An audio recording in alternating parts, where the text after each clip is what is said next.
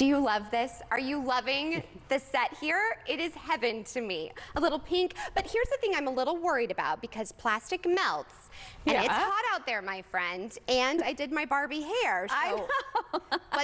forecast gonna be? First of all, can I just tell you, Maggie, I love all of the work that you and the team have put in to transform this studio, the lights, the graphics, everybody. Thank you so much. Maggie, Yes. as you said, your dream is coming true right now. I mean, I never wanted to go back. I want to live in Barbie land every No.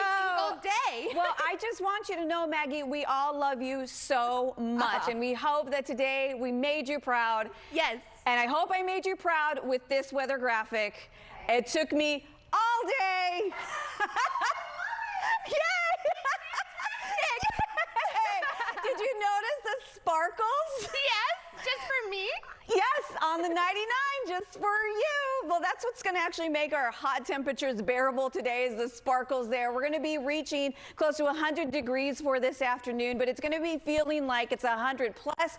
We do have a heat advisory still in place for today. Heat index numbers could reach up to 110 today, so everybody please remember your heat safety precautions. Stay hydrated, stay indoors, and of course, double check the back seat of your cars.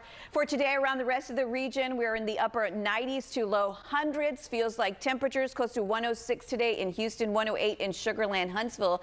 Could be feeling like it's 106 today. The good news for this weekend, temperatures are going to be dropping just a smidge. It's still going to be warm.